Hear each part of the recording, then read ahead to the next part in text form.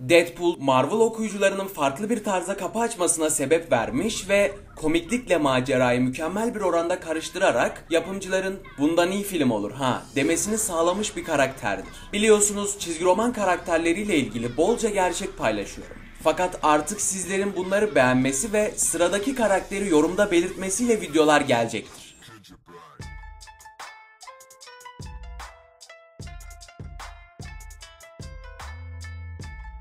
Ryan Reynolds bugüne kadar birçok çizgi roman filminde gözüktü. Fakat Deadpool dışında hiçbirinin adam akıllı bir başarıya ulaştığını söyleyemeyiz. Yapımlara çöp diyemem ama çok iddialı olmadıkları gayet açık. Böylesine kötü bir çizgi roman filmi geçmişi olan Reynolds yeter la vallahi tuttu sonunda. Demek istercesine bu işi adeta zirvede bırakarak Deadpool'un onun canlandıracağı son çizgi roman karakteri olduğunu belirtmiştir. Yani başka bir riske girmeyecekmiş. Deadpool'un okuyucularla ilk olarak buluştuğu yıl, Ryan Reynolds'ın oyunculuk hayatının başladığı yılla aynıdır. İkisi de 1991. Deadpool çekimleri sırasında Ryan Reynolds, Make-A-Wish Vakfı aracılığıyla Deadpool olarak hasta çocukları ziyaret etti. Çizgi romanlar karakterin asıl kimlikleridir. Kimliklerini sadece bir uzun metrajlı filmde tamamen yansıtmalarını beklemek aptallık olur. Deadpool'un henüz 2004 yılında yayınlanan bir çizgi romanında Ryan Reynolds'ı Ryan Reynolds olarak değiştirerek oyuncu abimizden bahsedilmiştir. Oysaki ilk Wade Wilson'a bürünüşü 2009'da gerçekleşti. Bambaşka bir çizgi romanda Deadpool, Thanos'la birlikte ele alınarak Wade ve Thanos nefes almasan da olur diyerek ölüme aşık olmuştur. Fakat Thanos aşkından dolayı Deadpool'u ölümsüzlükle cezalandırdı. Deadpool'u yakından tanımak diğer çizgi roman karakterlerinden oldukça farklı karakterize edildiğini anlamamızı sağlıyor. Where are my manners? Introductions?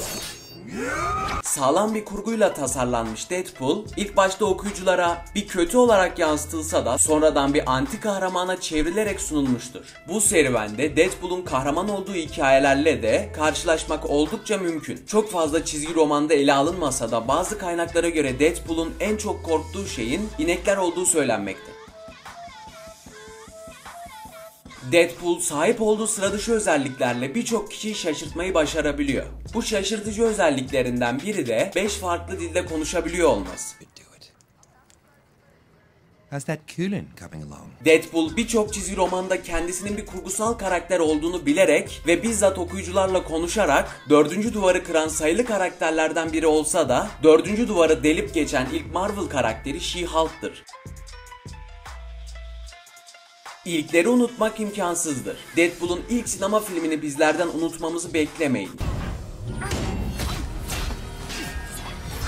Bu efsaneleşmiş film şaşırtıcıdır ki yaklaşık 48 gün gibi kısa bir sürede çekilmiştir. Ayrıca diğer çizgi roman filmleriyle karşılaştırıldığında 58 milyon dolar yani fazlasıyla düşük bir bütçeye sahip olduğunu görebiliyoruz. Fakat buna rağmen 225 milyon dolar bütçesi olan Man of Steel yapımından daha fazla kazanç sağlamıştır. Böylece Fox, Deadpool yapımıyla filmdeki en önemli unsurun bütçe olmadığını Warner Bros'un yüzüne çarpmış oldu. Karakterimizin tam vücut makyajı yaklaşık 8 saat kadar sürmekteymiş. Hatta sorumlular la sana ne oluyor oturma sen dercesine Ryan Reynolds'a makyajlıyken rastgele oturmasına ve yaslanmasına izin vermemektelermiş. Listelerden anında haberdar olmak için Hoş5'e abone olduğunuzdan emin olun ve YouTube algoritmasını alt üst etmek için videoyu beğenmeyi unutmayın. Şimdilik hoşça kalın.